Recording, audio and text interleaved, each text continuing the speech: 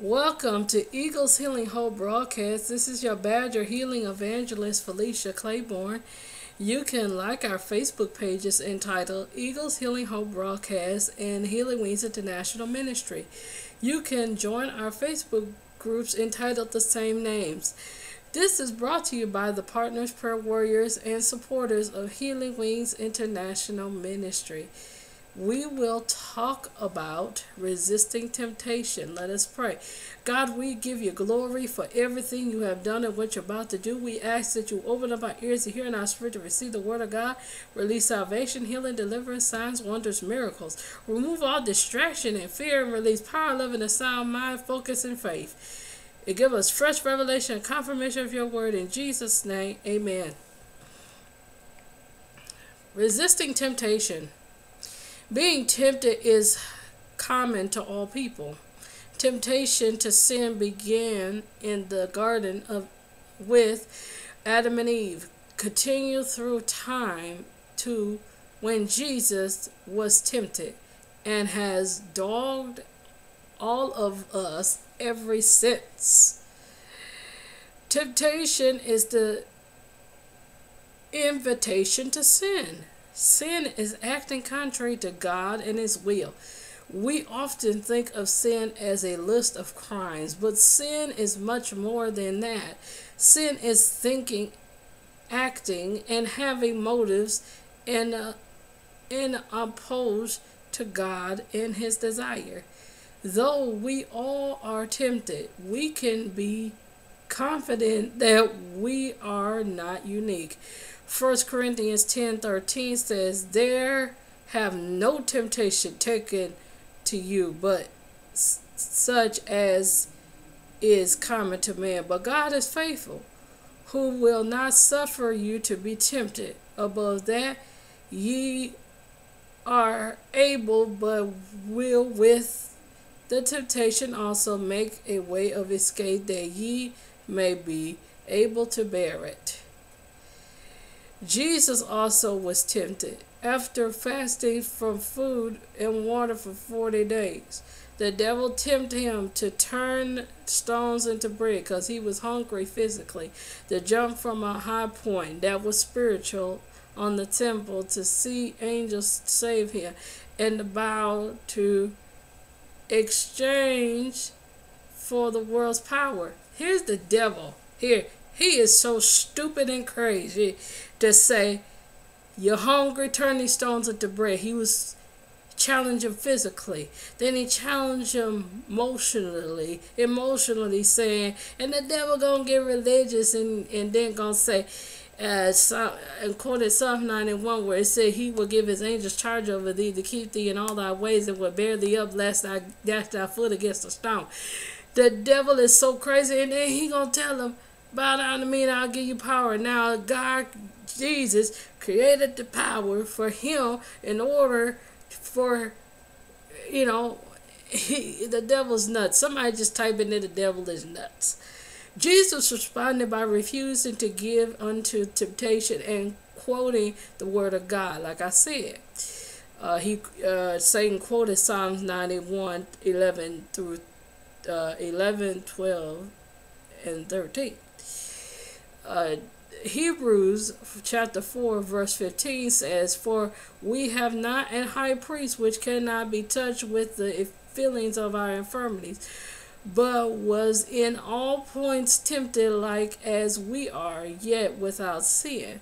When we are tempted, we can follow the example of Jesus by first and immediately rejecting the idea and following that denial up with a wall of Scripture.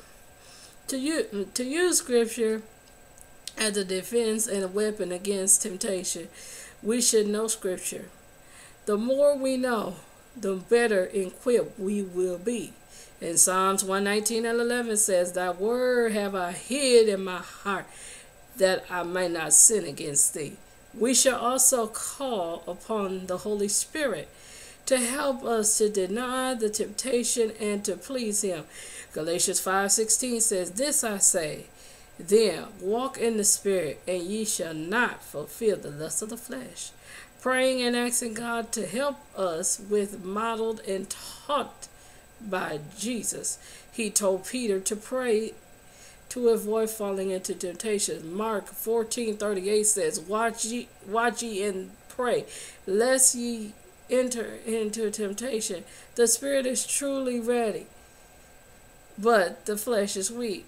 We must be aware of this promise, find the way out, and finally obediently take it.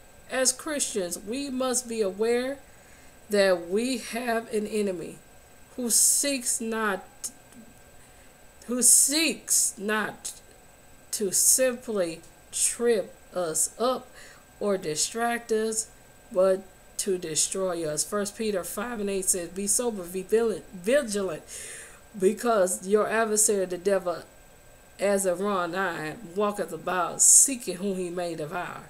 Devour is not nibbling or tasting, it is destroying. It's like devouring, it's like termites. They eat so much and they eat a bit big chunks at a time. So we had and, and they're like eating ants also.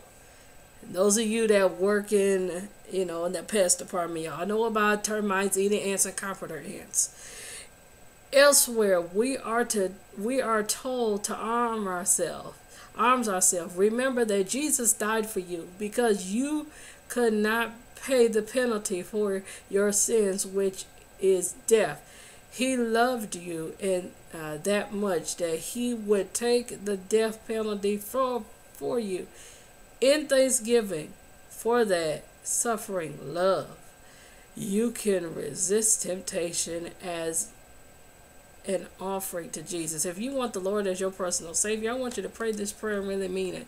Say, Dear Lord Jesus, I come to you as a sinner. I ask you to wash my sins in the blood of Jesus.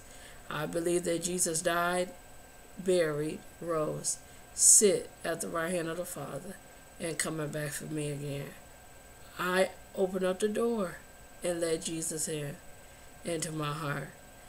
I confess that I am saved. Thank you, Lord, for saving my soul. Teach me to read the Bible. Send me to a good church so I can work in your vineyard. Fill me with the Holy Spirit so I can be a witness in the earth and have power over the devil in Jesus' name.